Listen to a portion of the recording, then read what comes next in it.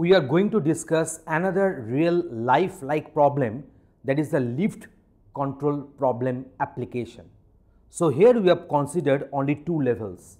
So, one is the ground level and let, let us suppose another one is the first level, first floor level. Okay. So, level 1 and level 2. So, we have made the problem very simple so that you can easily understand this one. So, now what is the logic and what is the process description? Let us discuss that one at first. So, consider two level lift with operator on board. So, operator is controlling the lift. Control of the motor to raise or lower the lift is operated from the platform. The operator presses the push button to change level. So, there is only one push button there is no up or down push buttons are there because when the lift will be at level 1 and if we go for the pressing the level changer push button then obviously the lift will go to the level 2 and at the level 2 if you press the same switch it will come down to the level 1 obviously depending upon certain conditions.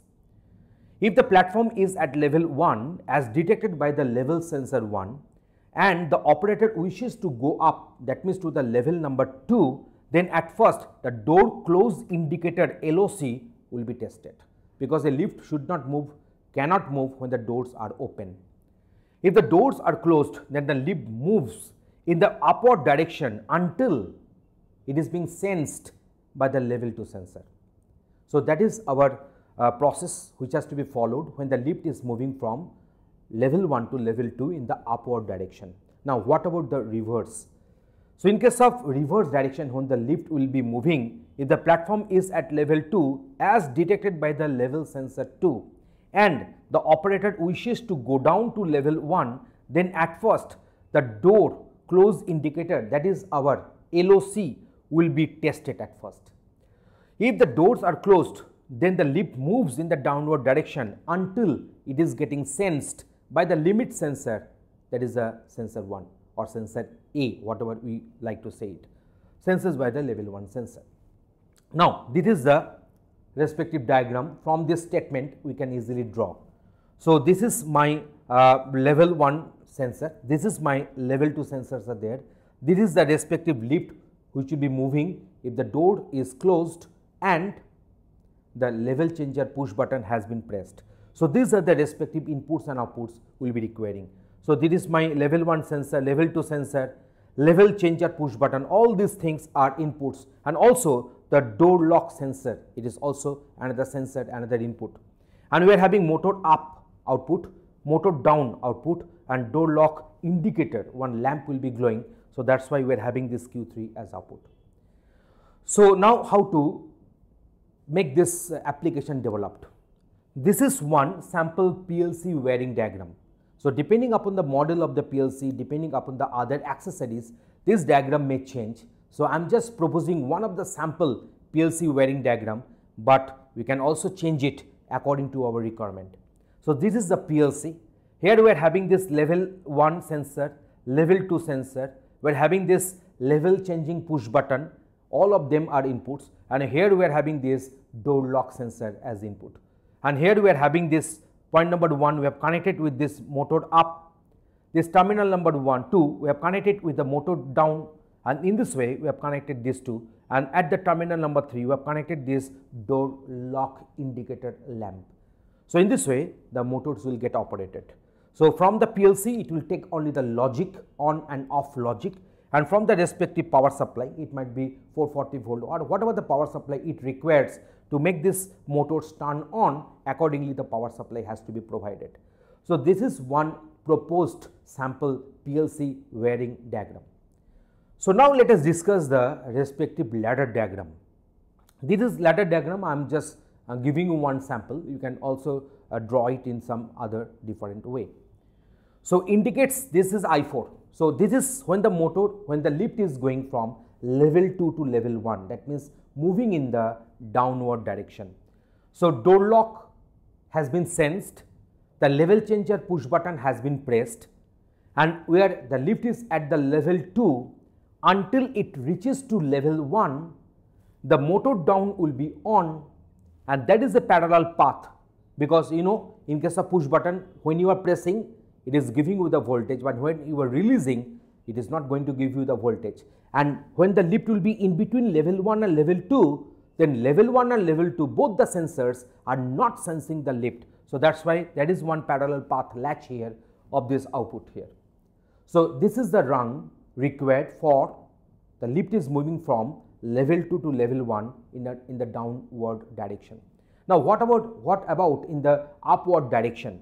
So, when the door lock sensor will be sensed that means the door is locked when the level changer push button has been pressed and when the lift is at the level 1 sensed until it reaches to the level 2 the up motor will be on and in the same logic we are having one latch here of this output.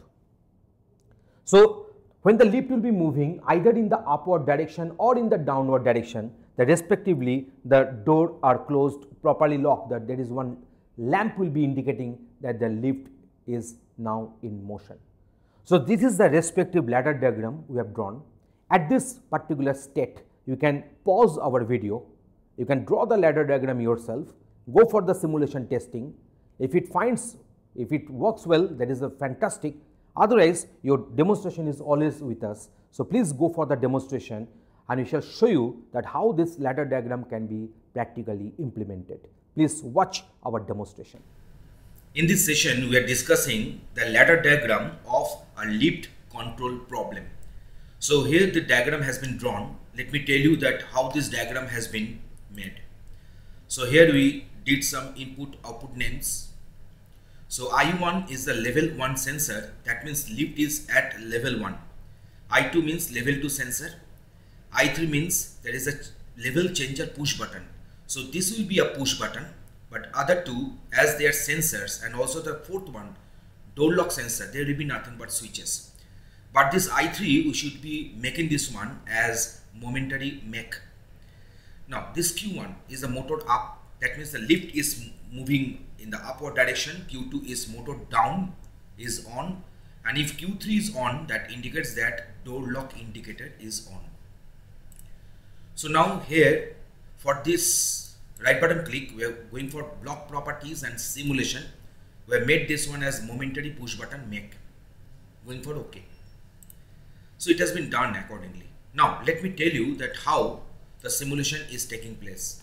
So when the door lock sensor is sensing that the door is locked and when the lift is at the level 2 that means in the upper level and level changer push button has been pressed and until the lift reaches to the level 1 the motor down will be on. And during this period of time the level changer push button will be released as it is a push button.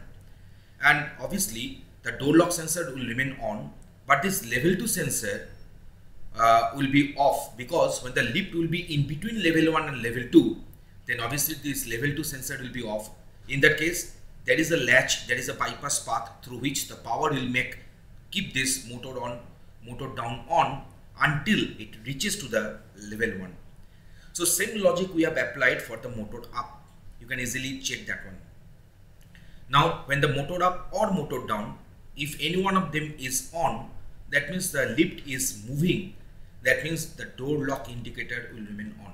So in this way, we have designed the same. So now let us go for the simulation. So here you see at first we are expecting that the lift will be at the ground floor. So that means I1 sensor is on. That means the lift is in the ground floor and door lock sensor is sensing that the door is locked. The lift is not moving. You can find here no output is on in that case. And then if I press, if I press the level changer push button, then you see the Q1 and Q3 is on. Q3 means the door lock indicator and Q1 means that is the motor up because Q2 means the motor down. So now the lift is moving up. In this process, it will release this uh, level 1 sensor because the lift is now in between level 1 and level 2 but the lift is still in motion towards the upward direction. So this lift will be stopped if it reaches to the level 2. So when the level 2 sensor will be on, the lift has stopped moving now the door will get open now the passenger will come out and new passengers will come in so again the door will be locked and level changer push button has been pressed so that the loop, uh, lift can go down to the lower level. So here you see Q2 is on, Q2 means motor down and Q3 means the door lock indicator. So in this way the lift is moving, it will release this I2 that is the level 2 sensor. Now the lift is in between level 1 and level 2 and now when it reaches to level 1 that means when it will reach to the required level the lift movement will be stopped because motor up and motor down both uh, outputs are off right now.